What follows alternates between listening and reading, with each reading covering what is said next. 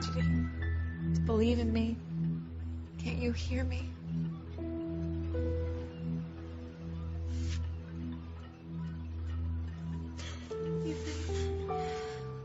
I'm right here.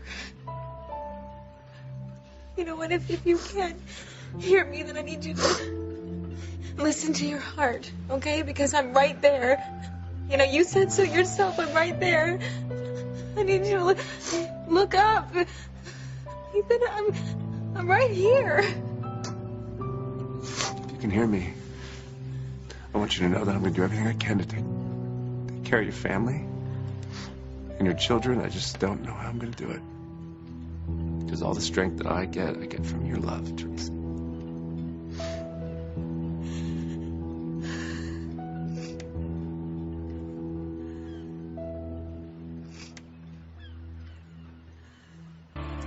You didn't suffer, Theresa.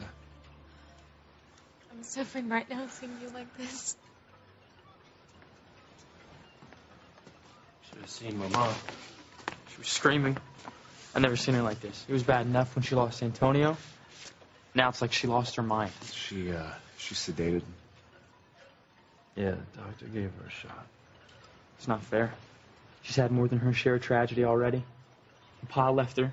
She lost Antonio, and now she lost Theresa. No, she hasn't lost me. I have to make them hear me. I, Still can't believe it. I keep thinking she's gonna run around that corner over there and just say she's fine. There's a chance she's still out there, you guys. Yeah, there's a chance. Look, I talked to the rescue worker, and she was pretty pessimistic. But come on, Ethan, we saw the sharks out there. They found her shirt covered in blood, shredded by sharks. More than one. I one. don't want to hear it, Luis. I don't want to hear it. You and this woman over, you evil witch. This is your fault. How exactly do you know Theresa and Pilar, huh? Perhaps you should ask this young lady. Gwen, isn't it?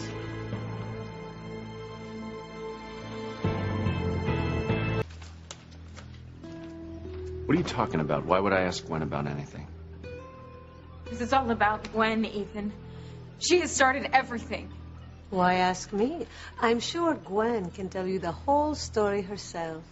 Gwen? Look, I've been standing here. I've been talking to her, trying to find out more about what has happened here, and she hasn't told me anything.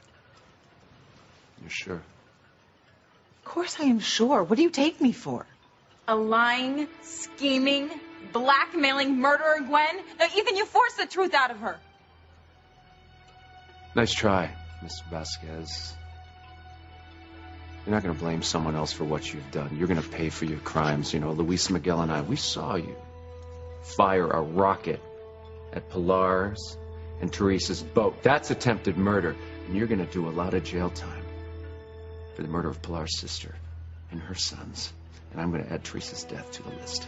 How dare you talk to me like that? I didn't kill her. Do I look like a shark to you? Yeah, you do. And you disgust me. You think about what you've done. You've taken the love of my life away from me. You took Pilar's sister away from her, and her nephews and her daughter. You better get on your knees, woman, and pray that Mexico doesn't bring back the death penalty because I guarantee you I will make sure you rot in jail to the day you die.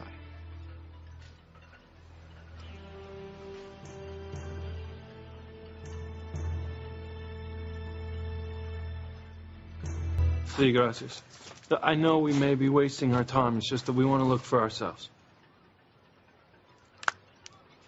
I was a rescue worker. She told me where they found Theresa's blouse. All right. Then we gotta go. We gotta go. She could be unconscious. She, she could have washed up on shore. We, we gotta go find her. She could be looking for us, Ethan, Luis. listen to me, okay? I don't want Theresa to be alive just as much as you do, but I just don't think that it's healthy that we're clinging to false hope. We need to accept what's happened. No, you don't. I'm, I'm, I'm standing right here. Look, don't think I'm losing it. I understand what you're saying. But I'm just having a hard time taking this in because I don't believe it, all right? It's going to take time for all of us. Please, no, don't give up, okay? I don't know what's going on with me right now, but I'm right here. All right, guys, then we got we got to go look for her body. Even if the sharks. I don't want to hear about the sharks, Miguel. Because whatever the hell happened out there, she's still there.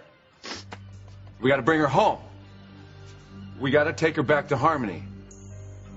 At least put her by the cemetery where the cliffs are. She loved it up there. It's beautiful up there and it's green, and she deserves to be there. And we could visit her there, okay? Can we please do that?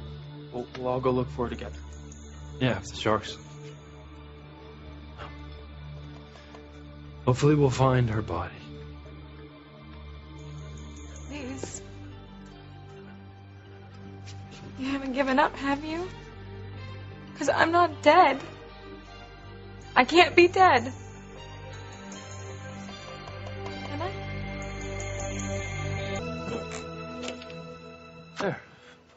That ought to hold you. Don't bother looking for your sister. She's been divided up by now. One shark has a foot, another an arm. Ah, shut up. Well, sharks are famous, and their sharp teeth are very efficient. None of her went to waste. Don't. Yeah, the federales will be back soon enough to haul you off to jail. Ah, that's a joke. The only person who deserves to be in jail is your mother. Do not talk about my mother like that. I don't know what the connection is between you two, but by God, I'm going to find out. Well, I could tell you everything right now if you'd like. You know what? Save it for the police. I don't want to hear your lies. I'll find out everything I need to know from my mother. And you stay here and keep an eye on her. We're going to go to the other side of the harbor. Ethan, are you are you really sure you want to do this? Yeah, I want to see the spot where they found Theresa's blouse. And if we can't find her body, then maybe seeing the place where they found the last trace of her will help me accept that she's gone. Don't accept it. Ethan, I'm not dead. I'm not dead.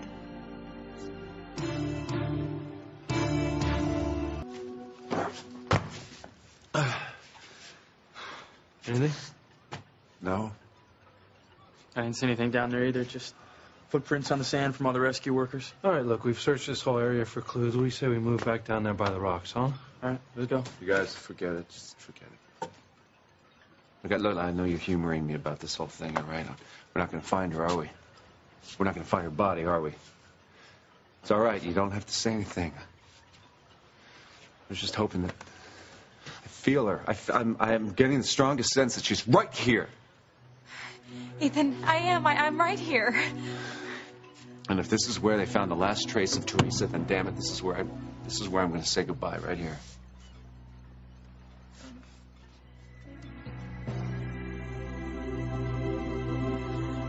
A little strange.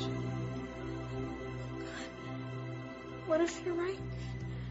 I think I'm dead. No one can hear me. And no one can see me, then I must be dead. That's why I can't touch anyone. Dark shoreline in a foreign country. And I feel her and know that she's here. I'm gone. That means I have to leave you, and Ethan, I don't, I don't want to do that. I feel like I could just reach out and touch you.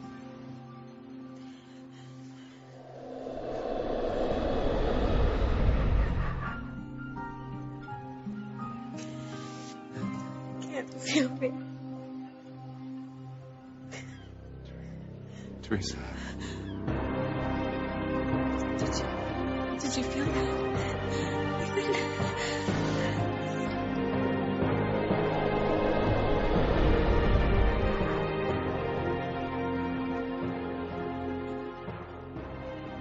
Ethan. I'm here. God, let him know I am here.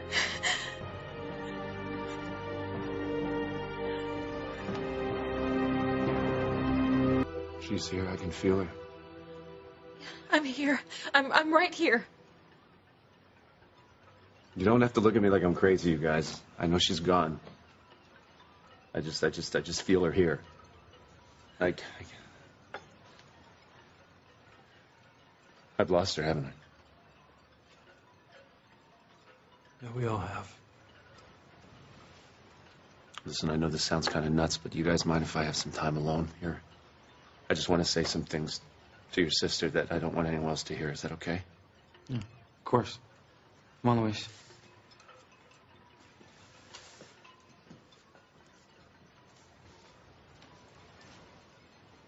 Oh, Theresa, I pray you're listening to me. I, uh, I don't know if I can go on without you. Oh, you must. See, your love gave me strength and hope. I'm looking at the world right now, and it's dark, and it's, and it's flat, and it's cold, and it's ugly, and I don't, I don't think it's fair. It's not fair because we struggled so hard to get where we're at. For it to end like this, it's not right. You remember when you first met me? I know you do, because I do. You poured that pain on me. I thought you were crazy. I thought you were insane, and yet you lit a spark in me that made me understand that I didn't have to live my life the way my parents wanted me to, and to lead the life that was laid out in front of me. You showed me that my life could be filled with hope and fun, laughter and love, dancing and fighting, passion and and even a little danger. I never knew those things before. You scared me half to death. And I loved it. I loved it. I felt alive for the first time. And damn it, Theresa, now you're gone. Don't stop feeling that way because of me, Ethan. See, honey, you're the reason I am who I am. Because that Ethan that you met many years ago, that boy, he was so young. He wasn't so strong. He wasn't so confident. He wasn't so commanding. Most of the time, I was just frightened that someone was going to call me out as a fraud. But, honey, you popped into my life, and I looked into those big brown eyes of yours, and I saw that man that I knew I could be. The guy I wanted to be. And I worked so hard to become that man for you. The guy that you could count on, the guy that you could lean on. I think I came pretty close. Oh, you did. You always did. That's what you gave me. Gave me the strength to be a man. And without that strength, I don't know what the hell I'm going to do because I'm scared. I feel weak. I feel helpless, and I know there's people in my life that need me to be strong like our little girl And our boy, little Ethan. and your son, little Ethan. Hey, don't you worry about him. I'm gonna, I'm raise him right. He'll be fine. I'm gonna put on a good act. I'm gonna suck it up, and I'm gonna, I'm gonna have the strength to raise him right. I just don't know how I'm gonna do it. I feel like half the man that I was. I love you so much. I can't believe you are gone. Well, Theresa, I don't know quite how to say this to you. I guess this is it. I know we'll have a service for you in Harmony. It's going to be beautiful, but this is the place I'm going to remember. Because this is where my dream died. No, don't say that. Love doesn't die. You do me a favor, though. You make sure that you, uh, look down on us. Never stop sending us your love, okay?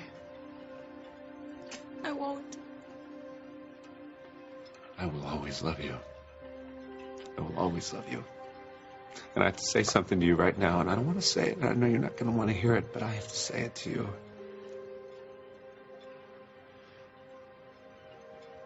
Goodbye. Goodbye, my only love. Goodbye.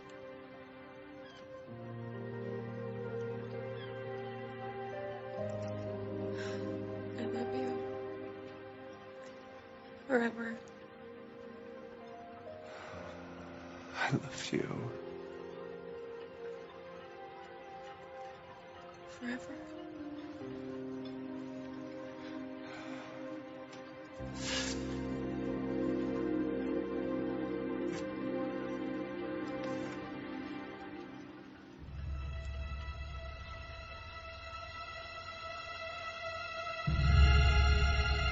What's happening?